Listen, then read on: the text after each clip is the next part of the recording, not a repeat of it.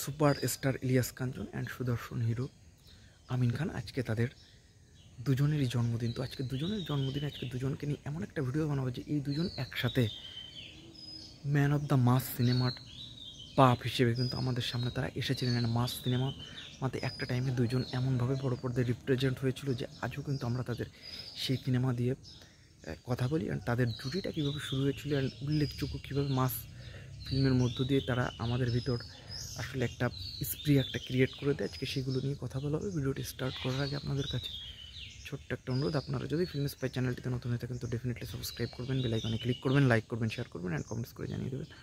আপনাদের মূল্যবান মতামতটা আমি ওয়েটিং ফর ইউর কমেন্টস দেখা হচ্ছে নেক্সট কোনো ভিডিওতে, সে অবধি সবাই ফিল্ম স্পাইয়ের সঙ্গেই থাকবেন। তো ইলিয়াস কাঞ্চন এবং আমিন খান, তারা পুরুলি, তারা ফার্স্ট কিন্তু একসঙ্গে কিন্তু কাজ করে যে সিনেমার। যে সিনেমাতে একসঙ্গে, এটা ছিল শেষ রক্ষা, এটা ছিল নাইনটিন নাইনটি ফাইভের সিনেমা এর পরপরই আমরা তাদের আরও কয়েকটা সিনেমাতে কাজ করতে দেখলাম নাইনটিতে তো তারা proper man of the mass হিসেবে আমাদের সামনে এসেছিল যে দুই নায়ক পেয়ার। এটা মালাইক আফসারি তাদেরকে রিপ্রেজেন্ট করেছিল ইন নাইনটিন নাইনটি এইটে মৃত্যুর মুখে শিরোনামের একটি সিনেমা মার মার কাট কাট ভয়াবহ অ্যাকশন ছিল যে সিনেমাতে আমিন খান মারা যায়।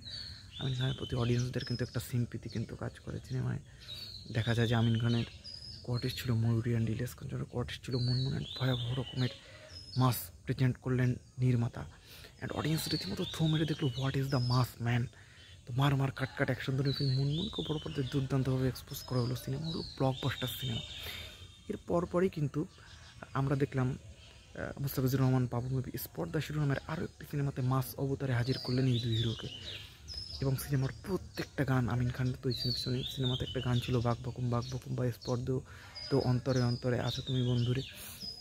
প্রত্যেকটা গান অ্যান্ড ইলিয়াস কাজের সঙ্গে তার যে কেমিস্ট্রিটা এমনভাবে ক্লিক করল যে মাস এক মিনিটে অডিয়েন্স রীতিমতো লুফিয়ে নিল যে what is the mass man দুর্দান্তভাবে কিন্তু বড় পর্দায় ডিরেক্টর প্রডিউসাররা তাদেরকে নিয়ে কিন্তু এরপরে কাজ করতে লাগবে এরপরে অনেকগুলো সিনেমাতে তারা একসঙ্গে কাজ হয়েছে তাদের, আসলে মেয়ের অধিকার হয়েছে যেটাতে আমিন খান নাকি ইলিয়াস কাঞ্চনকে ওভারশেডও করে দিয়েছিল। অ্যাক্টিংয়ে তো আজকে দেখেন, আজকে এই দুজন তারকার জন্মদিন তো দেখেন, দুজনই অসম্ভব গুণী এবং ভালো অভিনেতা। অ্যান্ড আজ টোয়েন্টি টোয়েন্টি থ্রিতে এসে দাঁড়িয়েও কিন্তু আমরা তাদের রিপ্লেস বা তাদের মতো জনপ্রিয়, তাদের মতো ভালো হিরোকে কিন্তু আমরা স্ক্রিনে কিন্তু আজও কিন্তু আনতে পারিনি। তো এই যে যে হিরোদের যে একটা খরা, তো তাদের যে জায়গাটা পূরণ হয়নি, অপূর্ণ থেকে গেছে, যে কারণে কিন্তু আমাদের ইন্ডাস্ট্রি আমরা কিন্তু ভুগছি হ্যাঁ? তো আমরা যদি হিরোদের এই রিপ্লেস যদি আমরা যদি করতে পারতাম, তাহলে কিন্তু ইন্ডাস্ট্রির এই ভগ্নদশা ইন্ডাস্ট্রি কিন্তু থাকতো না। তো তাদের এরকমভাবে আসলে তাদের যে আসলে না হওয়ার কারণে আমাদের ইন্ডাস্ট্রি কিন্তু আজকে আসলে এরকম একটা জায়গায় চলে গিয়েছে আজকে আসলে কবে গ্রুম হবে ইন্ডাস্ট্রি এটা কিন্তু আমরা বলতে পারছি তো এরপরে নানা কারণে ইলিয়াস কাঞ্চন সিনেমা কমিয়ে দেয়। আমিন খান আমরা দেখলাম দুই হাজার সাতাশ সালের পরে তিনিও আসলে আর ওইভাবে প্রপারলি আগের মতো কাজ করছে না, তো যার কারণে কিন্তু একটা টাইমে আমরা আর তাদের দেখলাম না। তো ডিরেক্টর প্রডিউসাররা কিন্তু একটা টাইমে দুর্দান্তভাবে কিন্তু দুজনকে কিন্তু স্ক্রিনে এনেছিলেন। তো সেটার একটা হিন্টস তো সেটা নিয়ে আসলে কিছু কথা বলার চেষ্টা করলাম। এই দুই হিরোকে আসলে মাস অবতার স্ক্রিনে কেমন লাগে?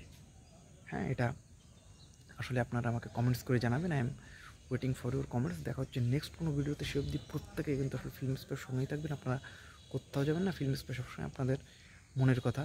পুরো নিয়ে কিন্তু ভিডিও বানায়